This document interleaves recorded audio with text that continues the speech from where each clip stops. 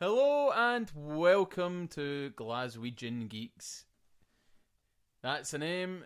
Second show. We've actually got a name this time, so Which means that hopefully we're going to last a very, very long time. Uh, unlike some podcasts that just fall apart. very true, very true. Uh, James, why don't you introduce what we're doing today? well, every month of this year, me and Mario are going to go on a journey of self discovery and moral appreciation for the things that we have today. And we are doing this by going through old comic book films that appeared, say, between the 60s and 2003, maybe. Well, we could still do, yeah, two th- maybe 2004, That's- because that was Blade kind of 3 uh, area, you know?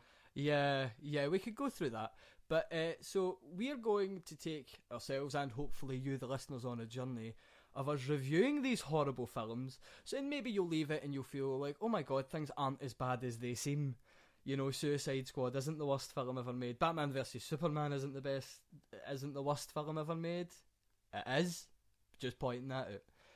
So every month we are going to release a review of one of these bad films, and today we're talking about Captain America, released in 1990. Yeah. Um, do you have, uh, by any means, um, Mario, remember who played Captain America? uh, Matt Salinger. If you've never heard of him, it's okay. Neither have we. And um, we don't really know what this film is about. All I know is that I'm living for Red Skull in it. We'll, gi- we'll give you a rough breakdown of the story from what we know. So, Red Skull is, oh, and there will be spoilers in this, but really, if you've not seen the film by now, I don't think you're ever going to Oh, go no. your way to see it. I think it's an experience that everybody needs to uh, go through. It, not all experiences are good. This one certainly wasn't. It was more comical than good. but comical for all the wrong reasons because uh, in today's world of special effects and great choreography things happen and they happen to look quite realistic. And this film things happen in such a way that it actually moved me to tears. And as a filmmaker myself even I'm sitting thinking why? So the guy who plays Captain America uh, after he goes through the, the, the super soldier transformation, ends up looking like a young Gordon Ramsay. I thought, uh, and he and he aids a president in this film who looks a lot like George Bush. I would say Yeah, a little bit of fluff material for the president at the time, you know. there's serious presidential fluff material in this movie, and I'm all for it a wee bit because the president is pretty cool. Um, but we'll give you a bit of an insight on the in the story. Uh, I'll we we we'll try and help each other remember it because I'm trying to forget it as I remember it. Mind wipe, mind wipe. Yep, yep. So, uh, Captain America in this isn't seen as the scrawny young boy that we're used to, the guy that the army rejects. He's actually already in the army by the time we meet him and he's ready to leave. And he's already signed up for the Super Soldier program, which there is. We, we don't know what the Super Soldier program is. In the 90s, if you were watching this, you would never know what it is. You wouldn't even know that it's a Super Soldier program. I mean, at the start, like, the, the Nazis explain that they've done it on a rat. Which looks uh, more Hugo Weaving than anything else, let's be honest.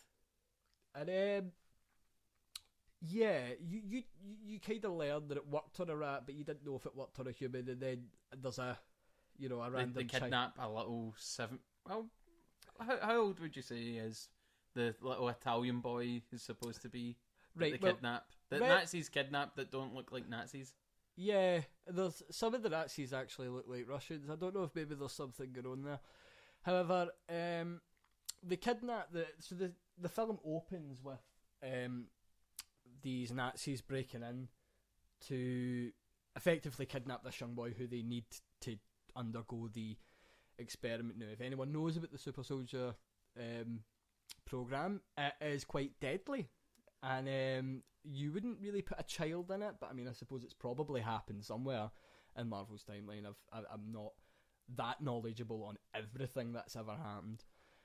Uh, but yeah, uh, they kidnap young boy. Young boy gets put into, you know, the machine, and we we hear terrible, terrible screams, and then in the next scene, Oh, oh, wait, there, you're forgetting the good doctor actually jumps from a window, avoids being shot.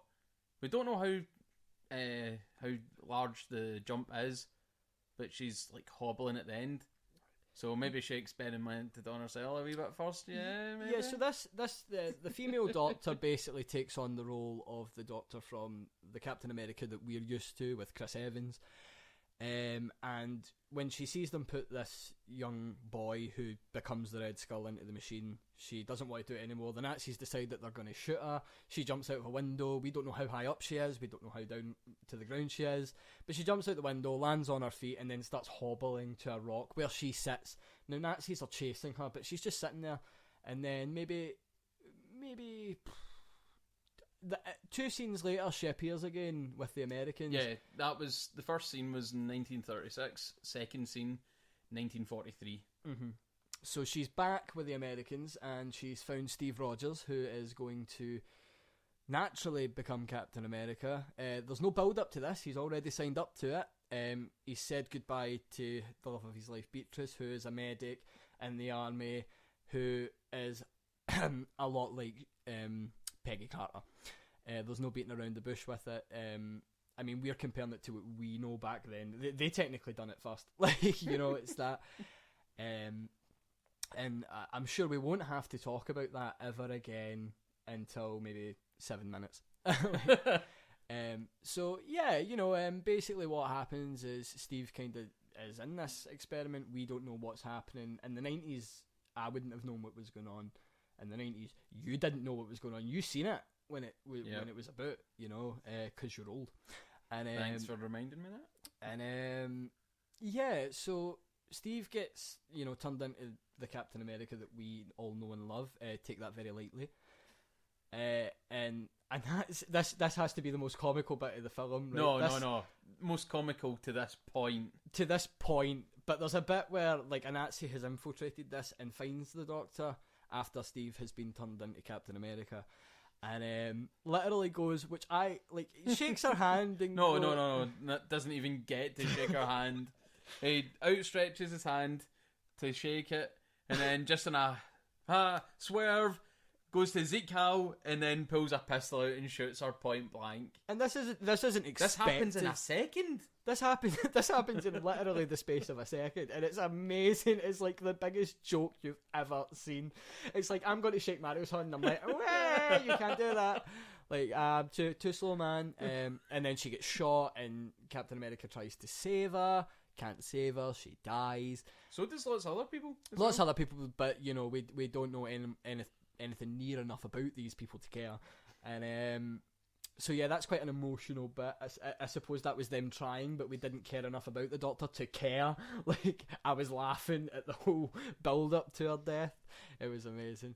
Uh, I'm a bad person, and I'm going to hell. Um, but yeah, after that, um, Steve gets sent on a mission to confront the Red Skull. The Nazis are going to do the traditional bad guy thing that they're going to send a bomb to the White House and blow the White House up. And um, Before before we get that far, right? This happens a couple days after, within a week of uh, of Steve Rogers becoming Captain America. He's already got a bullet in his shoulder and his chest, and they're like to this doctor, "We need him ready in five days. They're, the the Nazis are going to launch this rocket." And from from us just watching it, if it doesn't happen on screen, in my point, it doesn't happen. So we've got an inexperienced, non-military trained guy that they got just to be Captain America. No like combat, live combat experience and stuff. No training whatsoever. No hand-to-hand combat, and they're just sending him just a hyped up, roided like. Well, I know he's not the character. Matt Salinger is not roided up, but in our minds we're thinking a big bad Captain America, like kick ass kind of guy out in the middle of the field. No help whatsoever. Stop these Nazis. Stop the missile. Good guy. just because they can, uh, because they've put him through this experiment, so they just expect that this experiment's going to make him the best soldier ever. So yeah, they, they send they send Captain America out with no field experience whatsoever. They don't know what the fuck he's doing. Basically, they're just like, "Bah, yeah, the Nazis are going to bomb us. You need to go sort it out." And he's like, "Right, okay, fantastic." And as far as we're concerned, like Steve Rogers isn't the the Steve Rogers that we that we know and love. The guy who, well, I mean, the bit in the hospital when he when he gets told that the bomb's going to be It's launched very patriotic. he's very like, no, no, I've got to go sort that out. I'm the only person that can. And uh, there's a bit in a plane after that. They're on a plane, and he asks, "Oh, um, when am I going to get some fresh troops In my battalion. in my battalion?" Now, that's the point where the soldier says, "Oh, yeah, the the the, the scientist who done this to you, basically, you know, she didn't trust anyone, so we think you're the only person of your Good character. of your good character and caliber, and we don't have anyone else to send. Sorry. and um, now, if I'm asking for fresh troops, I don't care if they're super or not. I just want to know that I'm going to have soldiers there backing me up. You know that that that's that's what my that's what my beef is. You know. Uh, so Cap goes in here with absolutely no help whatsoever, and we get to see him make a sterling demonstration with his shield, which he has not been trained in.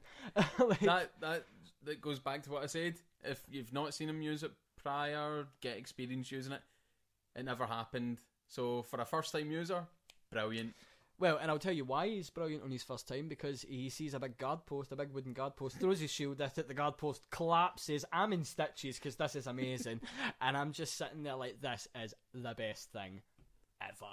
Like, and um, then he goes on, you know, and you see him push a whole truck by himself. You know, that's pretty Captain Oh, America, it is. It, is it not in one of the comics? He like lifts a tank. Like obviously one side to like lift over and shit. So yeah, well, he moves this it's, truck and he uses it for very. cover. It's very comic booky. It's very to source material. So yeah, I'm good with that. I'll get that. Uh, soon after this, he bumps into everyone's favourite melted down Lego, the Red Skull, and um, that is exactly what he looks like—a melted down Lego. Um, his face is all distorted and weird, which I suppose you know is good because of the effects of the, the super soldier serum and the fact that it happened to him when he was a young boy. You know, you know this is the kind of idea. The way this film kind of makes out is that obviously the Doctor has had more years to perfect it. But I think also the reason why they've tried to justify the disfiguration of this young Italian boy, which I will get to, um, was probably because he was younger and he was forced upon it. Like he wasn't relaxed or anything like that. He was he didn't know what was going to happen to him. So that could have all happened. That's all fine. Now onto the subject of the Red Skull. The Red Skull appears and he is the best thing about the film because he is cracking one-liners like it's no one's business, and he's just running around thinking he's like God's gift to the universe, which. To this film, he is like he, he, he. If there's anything to be saved to this film, it's him, and he just looks like a, a badly done version of Hugo Weaving, but Hugo Weaving was just a tidied up version of that. So you know that was that was that was fine. You know, I'm, to I'm me, good with that. Red Skull had character, even though it's not character I expected from Red Skull ever. Uh, one of those things being, oh, he's Italian, and um, the Red Skull to me has always been German. He's always been very for the Nazis he, until you know obviously he gets a bit sick of them and decides that no, the Nazis were wrong. I'm right. Um, so I don't know why he's Italian. No idea why. There's a, a bit at the start before he gets kidnapped where he's playing a piano, which you know plays homage to the end of the film when he hides a bomb in his Well, piano. let's not jump the gun. but which we'll get to. Um, we'll get to that. Uh, but the fact that he was Italian was the only annoying thing, and the fact that he was kidnapped at a young age, and you know apparently the Nazis never took him to Germany, like he was just always in Italy, which is just weird to me. Like I just don't understand. Surely Hitler would have wanted to meet his Red Menace. Do you know what I mean? Like well, you never know. Maybe, Maybe. it was bastard project. Just like I just keep him in that. It's Ju- fine. Just, just- keep him there. keep him. He he, he he he does not look like part of the master race, therefore we can't have him. Yeah, there's definitely no uh, blonde hair there. Hey, There's definitely no nothing there. Um, so yeah, I mean that was um, that was all that that that's all fine. And anyway, onto the, the the greatest bit of comic relief in the film is Captain America fumbles because Red Skull basically kicks his cunt in. well, here's the thing. You can assume that Red Skull's been raised by these Nazis, but then again, didn't happen, so we don't know for sure. Beats him in hand-to-hand combat. brutal Captain America first mission, his first mission, and he's sent to stop this bomb. Doesn't know what kind of threats are happening and what's ahead of him. Gets done in, and he's in a very, in a very Tom and Jerry, Wiley Coyote Roadrunner kind of throwback. He's strapped to a fucking rocket. Yes, he's strapped to a rocket and With like- his shield still on him. He's got his shield on him, so they were they had the courtesy to go, Captain America, we are gonna kill you. We're gonna kill you nice and slow. You're gonna be strapped to a rocket. You're not gonna freeze when the missile goes up into the atmosphere and back down. No, you are going to be strapped to the rocket with your shield because Nazis care. yeah, and you could almost say that the Nazi coming. Uh. I would like to take this time to inform the listeners that I will no longer be doing podcasts with Mario. Um, that was that was worse than any one liner in that film. You're officially worse than that film in one I aspect. knew it. Like, I knew it. I knew it before we even started. Um, but yeah, um, Yeah, so- comic relief. Yes. Yes, he gets trapped to the rocket, and uh, the rocket's headed for the White House. It's going to blow the White House up, but it's it's going to land not on the White House. It's going to land on the head of a tiny boy who's ready to take pictures. Now, Captain America sees this boy. Let, let's let's just get into that. It's four a.m. He's in Washington D.C.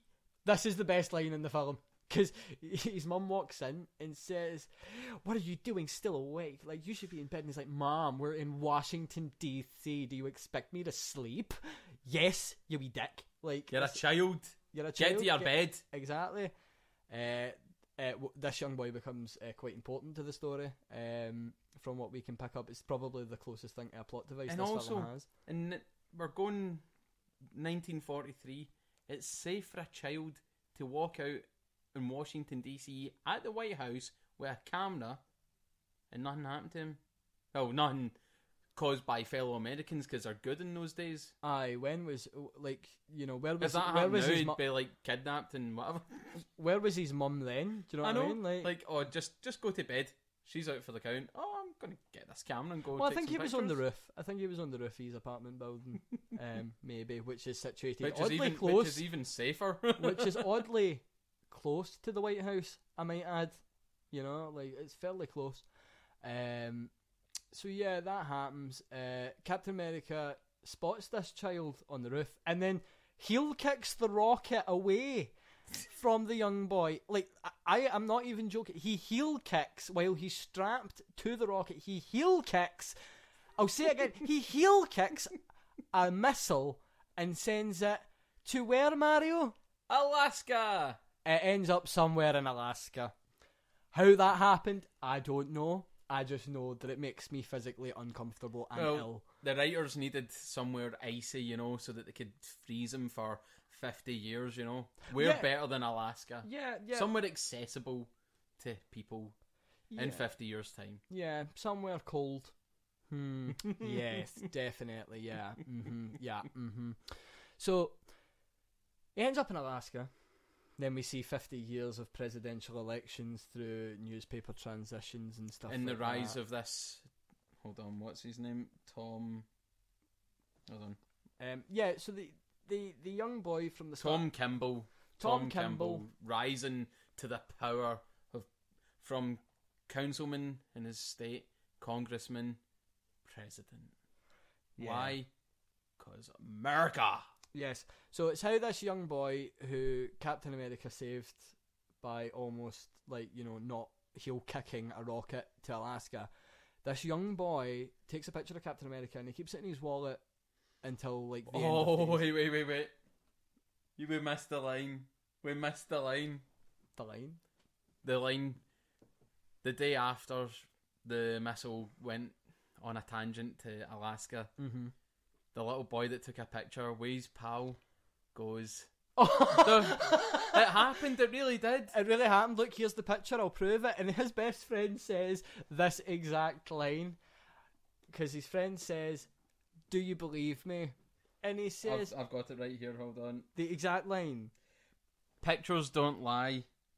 Neither do best friends. And is that not the sweetest thing you've ever heard? It's beautiful. It nearly made me cry. And that young boy is never seen again. Like, No.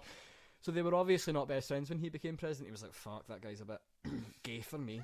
um, but that was uh, funny. Uh, that was an enjoyable moment. Um, anyway, so missile gets launched to Alaska. We see 50 years of transitions. We see this young boy become president, and then Captain America is found 50 years later by two people just out for a wee jog in Alaska, and they fight. They just see like the tips of his his his three fingers, his glove, and they think, oh, there, there must be something in there. There must be something in there. There's something no right. That's not normal.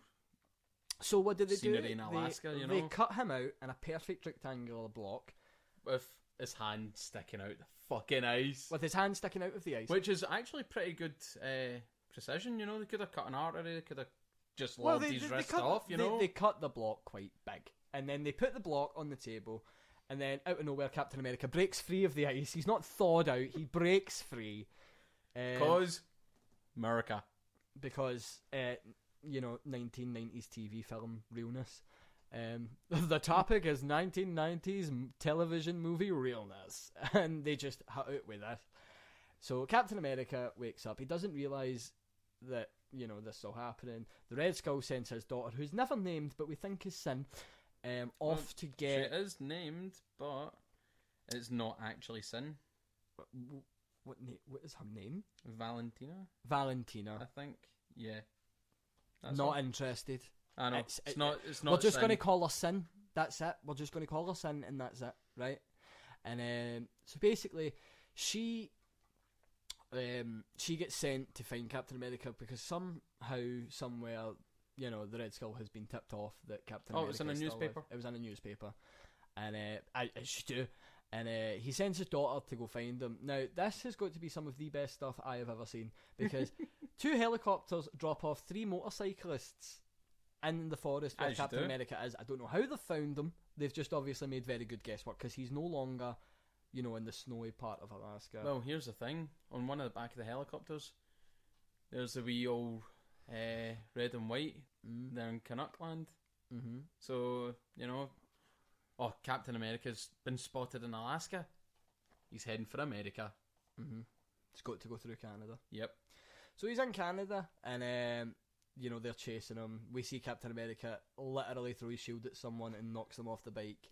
This is where some of the best stuff comes from, is the action sequences because they're over dramatic, and they're some of the best acted things in the film because the acting is pish, right? Absolute piss, and um, it just it just hurts me. So anyway, he's running through Alaska, blah blah blah blah blah, and then uh, you know. Oh, the friend of the president, the guy with Yeah, the the glasses. That's him. He is seen again. know. I'm an idiot. I thought you were meaning the young version of him. I'm like, yeah, you're right. You're, No, you're no, right. I, I, I, that young version is never seen again. But you know, he comes back as an old guy, and you know, best friends. And um, he goes and finds Captain America and lets Captain America in The his car. president sends him. More importantly, the president sends his best pal.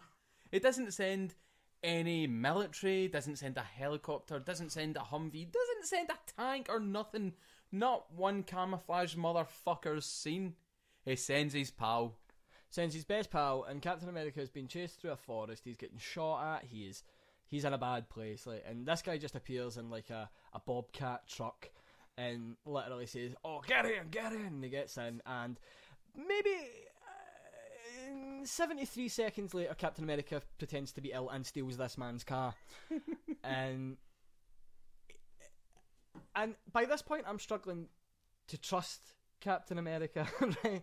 Because when he gets in this car for the first time, it's like, who was that chasing you? And he's like, Nazis. You, he no, it was He Nazis. smelled them. It- they were technically because they were working for, you know, the the Red Skull, and you know, but by this point, the Red Skull doesn't really feel like a Nazi at all. After like all that, it's like he just severed these ties with them, and that's it. Which he's done before, but you know, he, he, I, I, it- it just felt weird to me. Uh, so he just assumes that they're Nazis, you know, fakes an illness, steals this man's car, drives off. This man suddenly finds a way to get home because he's called his best pal the president, and they've sorted it out. Um, and then, you know, as is Captain America goes back to you know his hometown where the cheesiest music is played for the scene. He runs to find his um, young uh, his young lover um, Beatrice. I can't remember. Bernie. Bernie, and um, who is now an old woman. uh, very much in you know the way we've seen Peggy Carter get older, and she has a daughter called Sharon, who is played by the exact same actress. Would you care to confirm that? Yeah, on IMDb, have a look. Bernice Stewart slash Sharon. Mm-hmm. There you go. Yes, and she plays the two characters, which is fair, right? Because they're You know, never seen. they, in, they- they're never they seen did in have this. the flashback kind of like, oh my god, it's a double of her. Oh my god, it, she's she's still young like me. How the fuck? Come on. In fairness, having the same actress it works because they're never seen in the same shot because their editing budget obviously didn't cover that much. Do you want to Uh, know how much our budget was? How much was? Wait, we'll, we'll save that for the end, right? Okay, We'll okay. describe it and then we'll tell people how much money was wasted on this tot. Um, so, you know, th- there, there comes a, a scene of sort of, you know, rekindling with that family and trying to, you know, figure out how it goes and things like that. And eventually, uh, you know, the Red Skull's daughter breaks in again to, you know, seamlessly ma- just just as the president's pal finds Steve's former lover and gets shot in the back. get shot in the back. And He's then, in, he's in like three scenes and and then he's dead. and then then Bernie's husband gets shot and He then shot Bernie and- gets killed and you know it's just all this stuff just seems to happen like it just seems oh we need Captain America so you know you know take no prisoners when realistically if they take prisoners Captain America is going to be more entitled to listen and this was obviously the issue with the film because Captain America doesn't even get the chance to act like Captain America at any point you know the whole film kind of feels like a revenge piece by this point. like they're going to get revenge, and um, so they, you know, they it starts on this whole side quest of general nothingness, and then they eventually find out that the Red Skull is still alive, uh, and Steve has to stop him. Now, up to this point, which is the last act, because we have skipped so much, because literally everything in the middle is just irrelevant. Like I was on my phone through the whole middle act because nothing was happening. Um, it's just little sort of side pickups to how they get Yeah. from A to B, but there's no real, you know, Like find finding the uh, experiment lab where Steve became Captain America and having three guys chase him down, following him. to find the scientist who turned him into Captain America's journal, That was Uh, left in this lab. which was left in this lab, this very dusty lab. this very dusty and obviously ransacked lab, and someone just obviously didn't check that drawer where her diary was, and uh, That's that- sloppy handwork for America. To be Mm. honest, let's let's be honest. Mm. But I don't think like he reads the journal and it kind of implies like obviously you know how it all works, but it's never really mentioned again. Nope, It's never brought up again. So they basically go to get this journal, for nothing. and then off camera, it's just you're just But before we jump off from that scene, we are forgetting the uh, stereotypical racism of nineties TV, well nineties movies. please continue. An Asian actor that's great in hand to hand combat. We see everyone else shooting. This is like the first time since maybe first seen a Captain America fighting the Nazis where he's hand to hand people using a lead pipe in a fight with Captain America. That's just a little bit of uh, stereotypical stuff there, you know, but hey, it's it's the 90s, it's meant to be cheesy. Yeah, yeah. I mean, it, the film is certainly just cheeseball. Like that's the whole that's the whole thing about it. Uh, which shocks me because you know you've got this film was made in the nineties and there's two other ones that were made in seventy nine. Yep. So, you know, like I'm ready to see. Uh, we, we you will get to them at some point, maybe next month. But uh, I think I've just had enough for this month. I really should appreciate where these films came from. But anyway, we'll move on. Um, so yeah, you know, by the end, you know, he, he gets to the red the Red Skull's fortress, which is in Italy. Again with Italy because he's Italian. Yeah. Those damn Italians. He was he was damn Italian, like he was so. He was like, Italian, like, slicked back black hair, the accent, leather gloves, the suit. suit, the the the Italian accent. I mean, you kind of get more Italian than the accent, and um, yeah. So basically, what it turns out is that Red Skull needs the president to do something. reasons. Reasons, yeah, because if you've got the president, you can do anything. And um, yeah, that that's it. You know, he, he, you never really find out what he's going to do to the president, but you know that he's going to do something quite menacing. I will say this about Red Skull: Red Skull in it is very menacing, and a good villain should be menacing, and that is what makes him so interesting to watch because he's got this dark sense of humor, although it's quite, you know, laid back. Like he thinks everything's going to be okay. Uh, and you'll find that in the last act, I was rooting for Red Skull because I just didn't care if Captain America won or lost. Uh, but the third act is where things get cheesy. I mean, like you know, Captain America saves the president. Um, the president then goes on to say, "Oh pulls yeah, his own, yeah, pulls his own yeah. weight, and actually helps Captain America, distracting guys so Captain America can get the sneak up on them with a shield. And yeah, what what more can you want from And- a and- president? you know, yeah." You know, he, he does his bit, and the president just knows who Sharon is, even though no Yeah. one has told him who Sharon is. he's not been in the same cell. I'm sure he would have freed her if Her, her cell was under his, Yep. like literally right under his. There would have been no reason for him to like know. the way he said it. They've got Sharon. It's not like they've got uh some chick called Sharon. Aye, Uh, it's do- like do oh, I totally, her? I totally know who she is, and um, um, yeah, because he's probably slept well. Um, maybe I don't know. Um, so yeah, they, they, they go on, they save Sharon. Sharon eventually decides to hold her own. You know, she she does her bit, like, uh, but you know, she's she's so Sharon's basically fighting Red Skull's daughter. The president is helping Cap fight Red Skull, but the president is mainly fighting Red Skull's men. And there's a, there's just a bit that's so Captain America Steve Rogers when the president throws Captain America's shield, and there's a whole that that it literally is just like three whole seconds of a close up of Captain America giving the thumbs up and saying To the thanks. Mister President. It's just like not the time, love. You're busy. Like you know, it's it, it, it's just it's just there for genuine. Oh, they're friends. Um, so Red Skull runs away. You know, um, starts to shoot Captain America's shield, which is beyond me because why you wouldn't shoot Captain America in the legs just confuses me.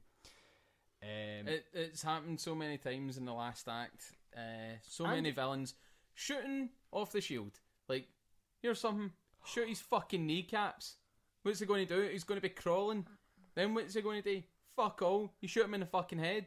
Yep, exactly. Like you know, th- these are how this is how it goes. And while Red Skull looks a lot like Hammerhead from the Spider-Man comics, he still You actually said it right when we were watching it.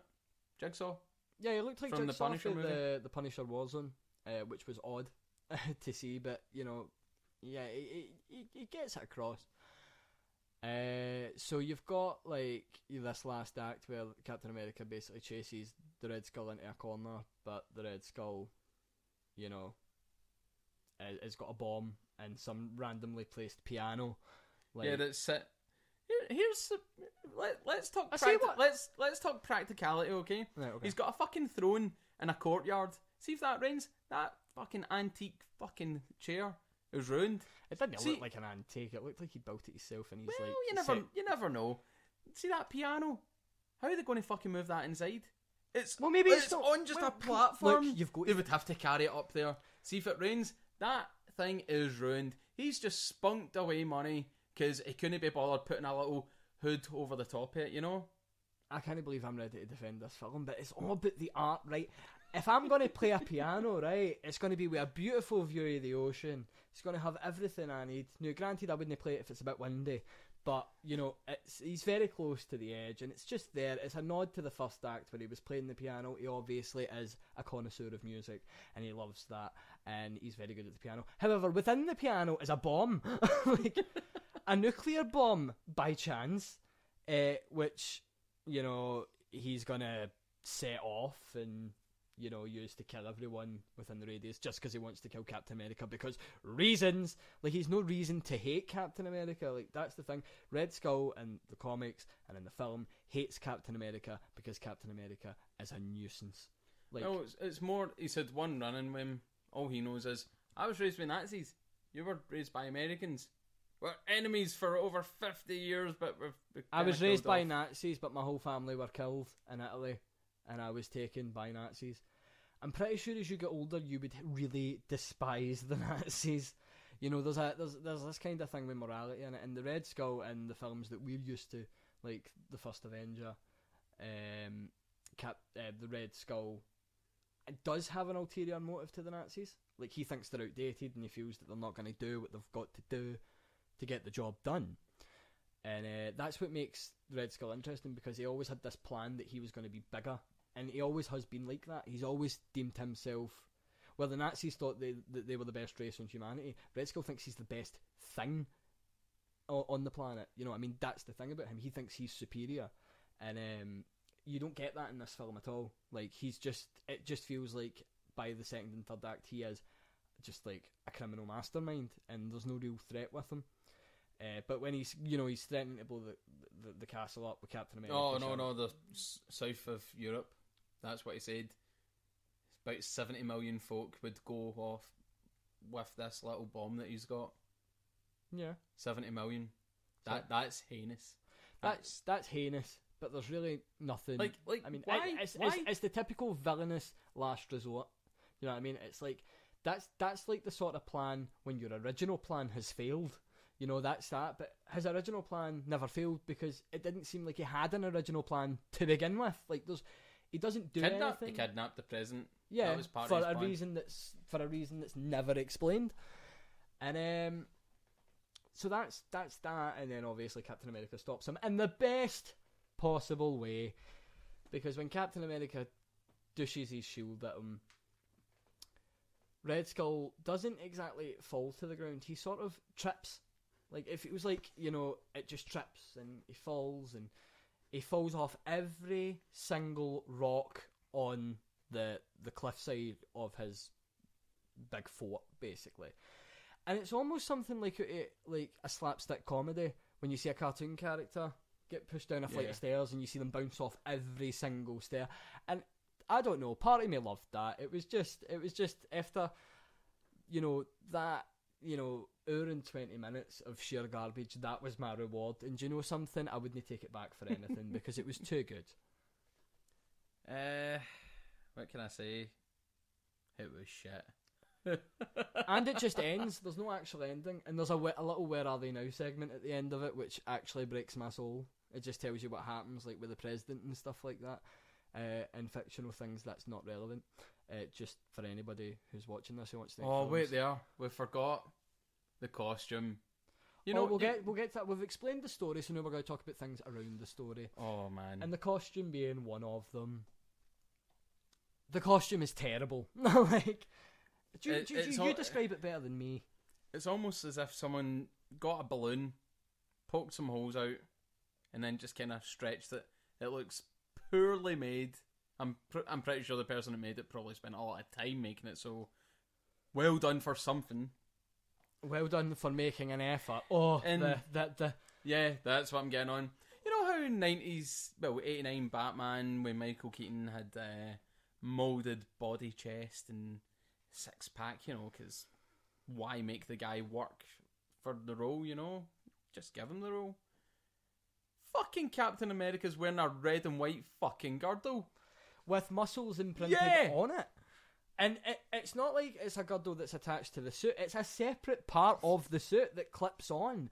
Like you see it move around, like, and it's like it's literally like It looks as if he's a part of a burlesque act. it looks like sponge. It looks like it was made of sponge, and that, and it, it, it, I just feel like he- would just take it off like da na na na, That's why I said it, mate. and then just take the whole suit off, and Aye. then even then I would still be repulsed. Um, o- overall, there are loads of things wrong with this film. But I mean, I suppose the in the acting's 90s, very flat. Come on. the acting is terrible. The acting is horrible. Like no one should have been paid for this. I would, if somebody said this film was made voluntarily, I would have more respect for it because there's serious, serious effort there, but just executed so badly. Uh, but I mean, this is a this is a journey of you know respecting what's came before, and as hard as we find it to respect things that came before, this was made in the nineties, right? You know, this was made what after the the Hulk TV series. Yeah. Yeah, Yeah. so you know you, I mean, I mean, you remember the Hulk TV series? You remember how bad that was. I actually don't think it was that bad. I'm probably if I were to watch it now, I would just laugh at it. But then again, I, They- I, I mean, this before we recorded, I'd said I remembered specifically how I watched it the first time. It was on BBC One at- late at night. Are you being My serious? dad- It was actually on BBC One. Yeah, it was on BBC One when there was four channels, not your five. When there was four channels shown on at night, and my dad recorded it for me so I could watch the next day. on VCR. Yeah. On VCR. Off they were the days. So like it, it is a throwback, but watching it again, I really must have mind wiped myself to like get rid of that when the new well, when the current Captain America movie came came out, the first Avenger, because I like it just there's there's no words to describe how shocked I was watching it again and how funny it was. Like I could I could remember the rocket part onwards, but that first ten minutes was just gone from my mind. I couldn't honestly remember anything of it. Well, as this is a, a sort of journey over the next twelve months, um, of watching, Torturous journey. of watching these films, we need to sit and we need to say to ourselves, this was the films that were the platform for what kind of we have now. You know, the, the MCU and the, the DCCU, which, you know, has its own issues, do you know what I mean? And, like, people say Marvel's too repetitive and people say DC's just not finding their feet. And this is the thing, how do you find the happy medium between that? How, like, Marvel have a formula that clearly works and people like but DC have a formula that seems to change between every film, and then producers get involved, and things just get molded and changed, and for want of a better word, shafted. Right? So, you know, people want this happy middle ground, but people don't know what that happy middle ground is. You know what I mean? Like superhero films are always going to have this level of cheesiness to them. This was too cheesy, but in the nineties, in the nineties, when you didn't have like you know the, the Avengers and you know, uh, Batman and, you know, all those kind of things. Do you sit and you say to yourself, do you know something? I'm happy a wee bit with what we've got because what we've got is still entertaining to a degree.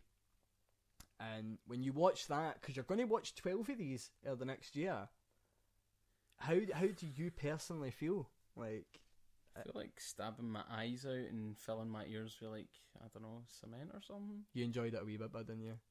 It was it was good to rem- like to relive something I'd watched years ago and uh, like you said at the time you didn't have much going in the way of comics. You had your Batman stuff going on, you had your Hulk TV series and stuff. So for something like that, yeah, it, it I probably enjoyed it more as a child than I did just there.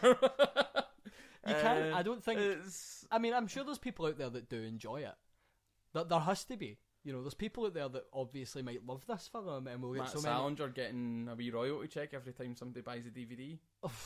What when you can buy it for a pound at the pound shop? Aye, Like, probably, aye. you can buy all three of them out at the pound shop for a pound. Like, well, I mean, this is it. I mean, you know, it's a horrible film. It's god awful film. Like, you can tell that it's it's been it's not been made to be a feature. Is a TV movie. To Uh, me, to me, it feels well- like a TV movie. If if somebody told me that was shown in a cinema, I would be so upset. Like, you well, know, on IMDb, right?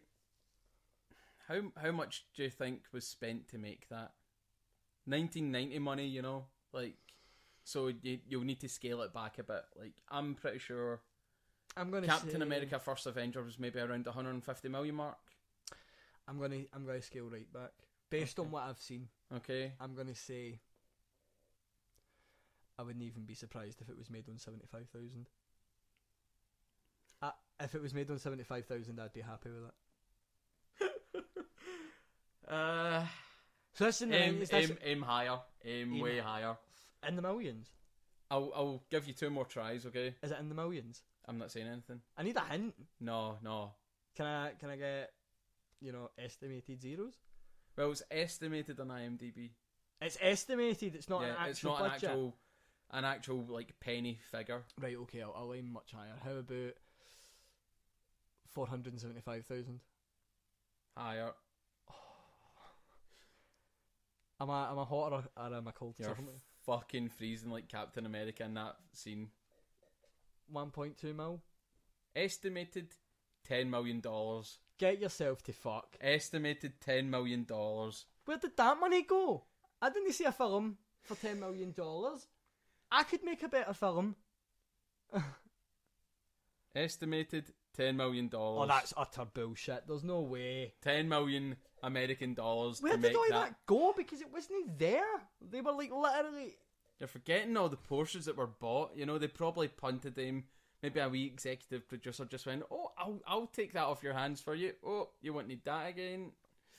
You know, that wee Fiat on its own probably set them back a fair bit. You're forgetting the special effects. What special effects? That rat that was red skulled up, that probably spent at least two grand. Okay, that spent about two grand, James. Two grand, right?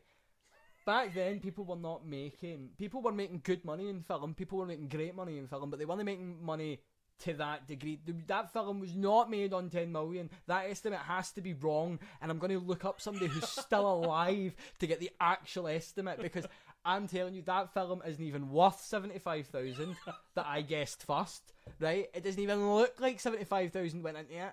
Like, no. like, no. And the fact that if it was a TV movie and it wasn't a feature film that was in cinema, why would they spend 10 million on that?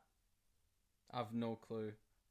But uh, to put it in perspective, okay, ten million on Captain America, nineteen eighty nine Batman, estimated thirty five million dollars.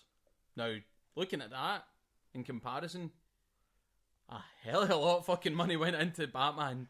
Yeah, but oh, it's it's just it's the special effects. Special effects are what consumes a lot of your budget.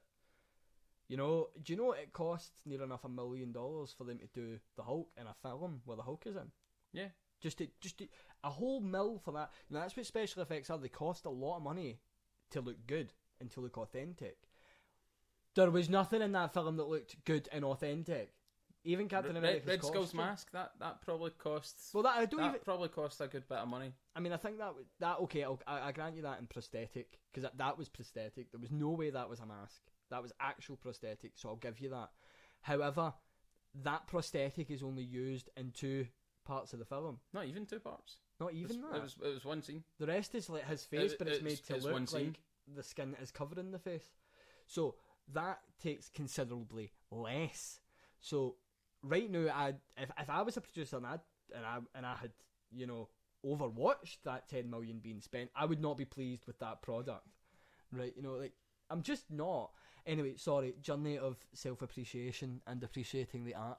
Um, the film is terrible. um, it's not worth ten million and I and I'm and I can't even see it being anywhere near ten million that was spent on that. I think.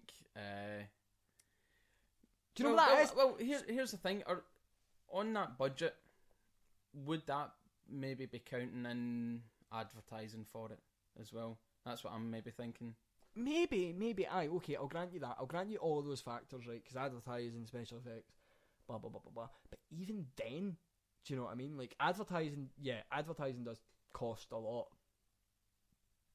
But for a, because you, you're saying that it was obviously you you're under the impression that it was a TV special. I think it might actually been a proper movie. if it was a proper movie, then I can see where a lot of the advertising was paid for. But even then, I don't even think it was well advertised. It doesn't look like a film that's well advertised. It doesn't look like a proper action movie. It looks very low budget. Like in comparison to Batman, I would be offend- I would, I would be offending students by saying that that looked like a student film on no budget. But I mean, realistically, I've seen student films that can blow you out of the water. You know, like that are, are so much better than that. And you know, I, I've seen very long student films that are better than that with no budget. I think to me the film just go maybe a wee bit too over ambitious, and but there, there just wasn't enough of what you wanted to see, and that's why the film to me just I just don't like it. However, again, it makes me appreciate just a little bit better of what I have today. I am living a better life than as a cinema goer than someone in the nineties was. But again, maybe you know in the nineties that was that was what people had, and you know that probably blew people away in the nineties, probably. But I mean, Maybe. not when you've had like you know Escape from New York and Escape from LA, which were done before that, which were much better. You know, like so things like that. Um, and for the most part, in terms of cast and stuff like that, very minimal. Not There- many There in terms wasn't of many big names, to be honest. Not many big names. Not many main cast members that or supporting cast that were relevant, and not many extras. Ron, well, that's the thing. You look at the full cast on IMDb, it's not a great list. Uh, you do have Ronny Cox as the president, who you will also remember who at the time was in RoboCop one. Mm-hmm. Yeah. He was a he was a big bad, the big bad CEO. Yeah, So the you could say that that's the biggest name attached to this movie, yeah. which And he has It's and, quite and- And, he is one of the, the better characters in it. So I grant it that. Overall though, I would say that you know, the the film obviously had an idea of what it was wanting to do, but it didn't really stick to the source material that much. And Stan Lee produced it. Like he was an executive producer on it. So, you know, he has a say kind of in terms of like if if you know DC's anything to go by, you know, the producers kind of have an idea and a say in what is going to be happening, what money's going to be spent where. And Stan Lee obviously knew this script before like okaying it and before producing it. I mean, Stan Lee just attaches his name to anything that's Marvel related. Like he just does. And it's nice to see that even in the fucking nineties he was doing it. And well, wasn't this a point of time when it was selling off the to help keep Marvel afloat? No, was it? Sorry, it was the two thousand late nineties and the two thousands round Mm. just before Spider Man, I believe. Marvel were like near enough bankrupt, so obviously at that time they could see like, well, here's another medium we can go down, like comics. Like we've got that lined up. We've done maybe not too bad with the Hulk show, so maybe branch out into movies. You know, it's safe to say it, it didn't really pan out at the time. Yeah. I mean, I think I think in terms of like a film like this needs to have genuine action that keeps it going with a genuine story, and it tried to have a genuine story, but it just didn't do it. Like the story just, you know, there's there's points where you can literally phase out and be back and go, hey, I know what's going on, and that's that's not what a, a good film does. A good film engages you and keeps your attention for the whole time. To me, anyway. So I mean, I just think overall the film's just a bit naff. So, eh, it's It it was out of five. I would definitely say a two, nah. and that's being generous. I mean, I would say five slashes across the wrist out of ten. Um, but you know, it's it's it is what it is for the nineties. I suppose you know that was that was good. But I mean, I've seen films that were made before the nineties that are much better, oh yeah, like Mad Max. You know, aliens. Aliens, escape films. You know, those are all action films, and yeah, they all have different concepts, but those concepts are much bigger than superhero movie concepts. Do you know what I mean? Like Mad Max and a in a massive wasteland. You know, you've got these characters who you're not always introduced to, but you know they're menacing, you know they're villainous, and I think with this, what messed it up was just that they tried to keep the cheesy comic book theme, which sometimes doesn't work because comic books right now have went into the realm of being serious with you know the occasional one liner that's quite cheesy, but you enjoy it because it's just a wee throwback and it's nice.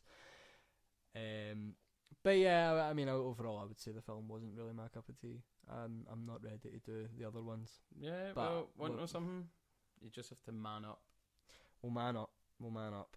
Um, so next time we'll be doing Pick it up. Read the title. Read the title, James. next time uh, we will be reviewing Captain America: Sentinel of Liberty, which was made in 1979, and we will also be reviewing Captain America 2: Death Too Soon, also made and released in 1979. Two films which serve as prequel and sequel to each other, um, that were made and released in the same year, which hurts me a bit. High hopes. High hopes indeed. I mean, I'm looking at it and I'm just uh, no. But uh, yeah, it's we're we're going on a dark journey. Okay, we didn't say it was going to be easy. we hope you'll take it with us and appreciate what just what you've got. You spoiled bastards. If you don't go back and watch this, you're doing the current Marvel movies a disservice. Yes, I would say so anyway. And don't worry, Suffer we're, we're, us, we're not going to be please. we're not going to be Marvel dominated. I'm sure there's a few DC bad boys that we can of dig up course, of course. because you Superman three. Superman four. Yeah, there's a fourth one. Shut up, Mario. not the time. Not the time. But yeah, we hope you, that you go on this journey with us, and you know maybe maybe it helps you just appreciate the you know what is you know what what is out there to us now, and that it's done better, and it quite clearly is if that's anything to go by. So yeah, until next time. This is a Glaswegian Geeks signing off.